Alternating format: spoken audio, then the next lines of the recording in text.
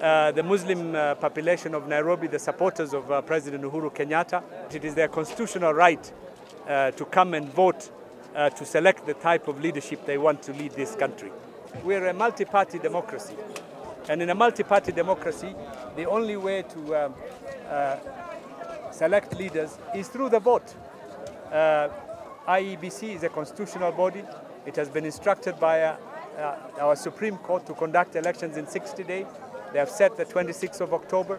So I think um, people of Kenya should be allowed uh, to exercise their democratic right and vote peacefully. Anyone who does not want to participate uh, can stay at home peacefully. Uh, Kenya is, uh, is our beloved country. We should uh, be careful uh, in our, um, our statements, in our actions to make sure our people are united and that we have a peaceful elections.